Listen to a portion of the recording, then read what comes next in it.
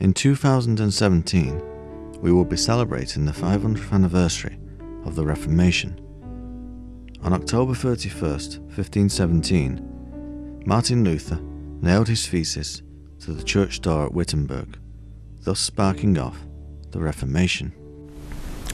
As a forerunner to that, in this year 2015 is also the anniversary of the Scottish reformer John Knox and also the 17th century Puritan Richard Baxter and also the martyr George Marsh.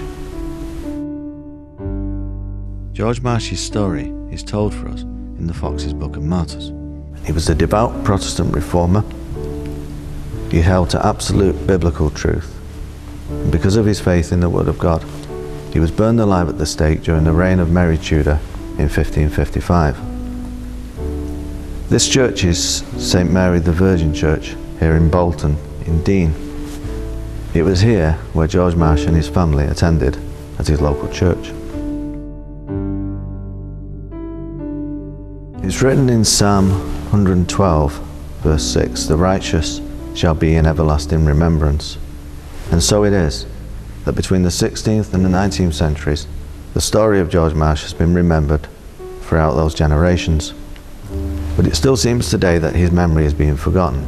Yet in this year, 2015, it's the 500th anniversary of his birth.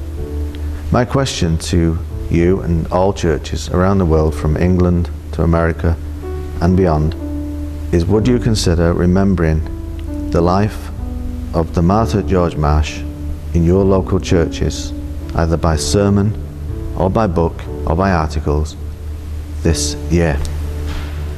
My question to you today is if you're an elder or a pastor or a deacon or have some access to a pulpit, would you consider telling the story of George Marsh this year for your local church? If you'd like sources for his life and you don't yet have any, you can find the Book of Martyrs online. Remember, it's up to us to remember our history. And if we don't, then nobody else will either. Thank you for your time and God bless.